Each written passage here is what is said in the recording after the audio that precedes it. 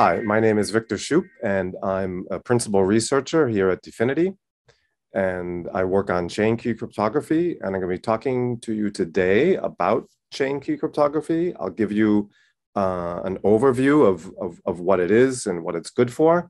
And then I'll talk about some exciting new things that we're working on. Specifically, I'll be talking about um, decentralized ECDSA signing and how that's going to be used by the Internet computer uh, to allow uh, canisters on the Internet computer to basically hold Bitcoin as well as Ethereum and, and other cryptocurrency and to interact uh, with those blockchains without the need for a bridge. So I'll get into those details as we go along.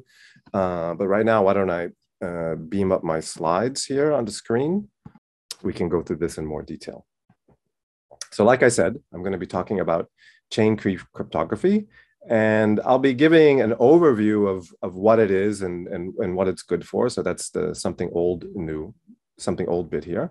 And then I'll be talking about the new applications, the new developments and the new applications to uh, integrating the, the internet computer and, Bit, and the Bitcoin network, as well as Ethereum and so on. Um, so that'll be the new part. So let me talk a little bit about what chain key cryptography is at a super high level. So chain key cryptography is really one of the um, technical innovations that really differentiate the internet computer from other blockchains. And it does this by chain key cryptography does this by allowing uh, blockchain results on the internet computer to be securely validated um, by simply validating a small compact digital signature. Now, this is a big difference to how things traditionally work in the blockchain world.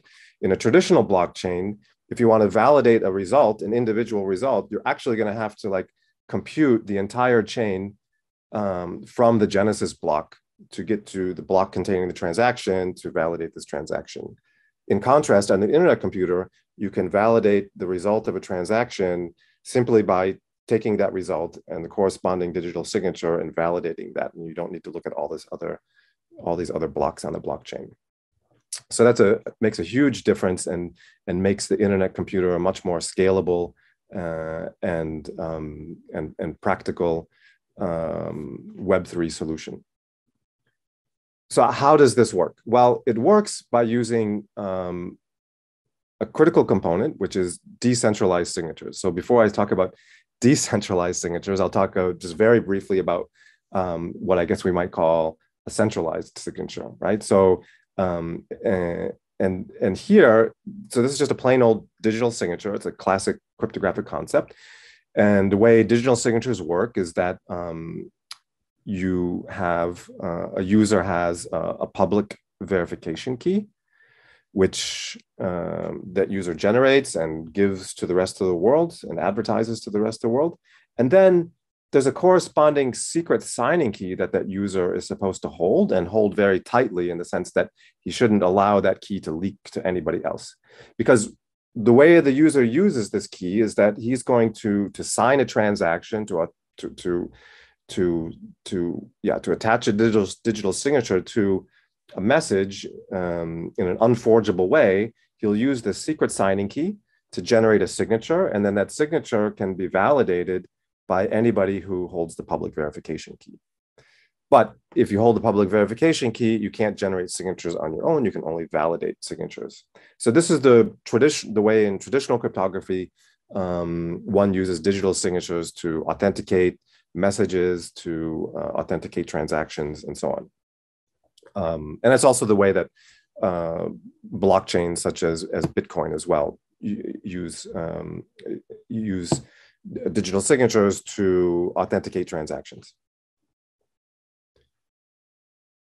The problem, of course, is that in this um, centralized setting, there's this secret signing key which has to be held um, securely, and this does not work well in a in a in a Web three environment where we really want to have decentralized security. We don't want we don't want to have any single points of failure, single points of vulnerability in the system. So this is where decentralized signatures come in, or what are sometimes called distributed signatures or threshold signatures. And the way it works is that, again, we have a public verification key, just as before, that's advertised to the rest of the world. But our secret signing key is actually split up into individual shares uh, that are distributed among the different nodes in the network so that each node in the network will hold just one individual share of the original signing key. And in fact, the original signing key is never stored anywhere uh, altogether, right? The, on, on any given machine, there'll only be one share of, of the signing key. These, these shares are never brought together because, again, that would create a single point of failure, a single point of vulnerability. Of course, this creates a, a technical challenge in the sense that now we have these shares distributed uh, among all the nodes in the network. And then a request to sign a message comes to the network, and these uh, nodes have to cooperate and run a, a um, an interactive protocol that allows them to generate a signature on a, on a message or on a transaction using these shares. But again, they can't combine the shares together um, on a single machine to do this. So they have to use some some um, advanced uh, secure distributed uh, cryptography to do this. So that's what de- decentralized signatures are at a super high level. Now, there's a couple of different ways you might implement um, decentralized signatures, and these are usually built on top of traditional centralized uh, signature schemes. One such scheme is called the BLS signature scheme. And this is actually the scheme that was used in the original Internet computer design. And the reason that it was used in the original Internet computer design was that this particular scheme allows for very efficient decentralized signing. Um, and moreover, because of the fact that the Internet computer was a brand new thing and didn't have to rely on legacy technology, um, we were free to adopt the technology that gave us the most uh, uh, technically viable solution. So we could use BLS signatures and we didn't have to worry about being backward compatible with other standards and other signature schemes. So that was very compelling and, and, and, and made a lot of sense at the time. However, in what we're working on now, the new thing that we're working on is to implement some new implementations of actually legacy uh, signature schemes. So we want to implement decentralized signing protocols for legacy signature schemes. And in particular, the, uh, the, most important one among them, and the one we're working on right now, is the ECDSA uh, signature scheme. So the reason the ECDSA signature scheme is important is that it's um, it's a it's a scheme that's very widely used and standardized. And what we're doing right now is we're implementing a new, efficient uh, decentralized ECDSA signing protocol. So this is new technology that we're developing, um, and it's quite exciting. And one of the reasons it's particularly exciting is that ECDSA signatures are is the scheme that's used for signing transactions in Bitcoin and Ethereum and many other blockchains. Um, so by having the decentralized signing functionality for ECDSA signatures on the internet computer, this gives us the ability to have canisters on the internet computer can sign transactions on the Bitcoin, Ethereum uh, blockchains, as well as many other blockchains.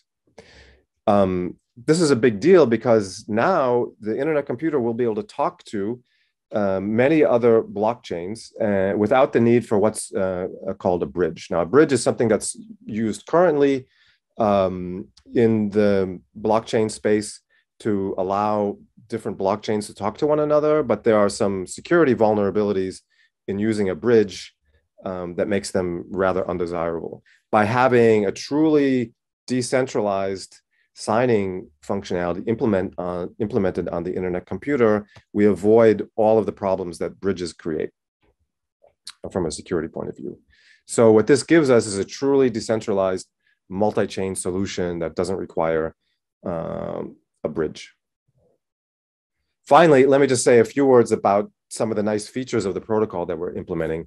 Um, our new protocol for decentralized signing is both robust and it provides a high level of security, um, all in a very malicious, uh, very challenging environment. So even uh, in in the most um, um, difficult of environments, our protocol will retain these robustness and security features. By robustness, I simply mean that even if there are some faults, even malicious faults in the system, um, uh, a signature will be produced upon request. Nothing can stop it. And also, security means that um, not only will the signing key not leak, but uh, but no non-authorized signing requests will will give rise to a signature. Um, and all of this happens in a in a in a, in a very um, difficult environment where um, the network itself is assumed to be only asynchronous, which means that uh, there can be arbitrary delays in the delivery of messages. We don't rely on, on fast message delivery in any way. Um, and it even works if some of the nodes in the network are so-called Byzantine, which means they've been corrupted by an adversary in some arbitrary way, possibly even with coordination among the, the corrupt uh, nodes in the network. So even in this very challenging environment, uh, our protocol provides both robustness and security um, and and that's a and and still is fairly efficient as well, uh, which makes it stand out from a lot of the other work in this area. So achieving this level of robustness and security really is just matches the same level of robustness and security that's achieved in the the rest of the internet computer. So we're really just making sure that um, uh, we can achieve the same levels of robustness and security for ECDSA um, decentralized signing as we already do in the rest of the internet computer. So that's the end of my talk. Uh, I hope I was able to give you uh, a brief introduction to chain key cryptography in general, and also to show you some of the exciting things that we're working on now in extending uh, chain key cryptography to enable new decentralized signing schemes.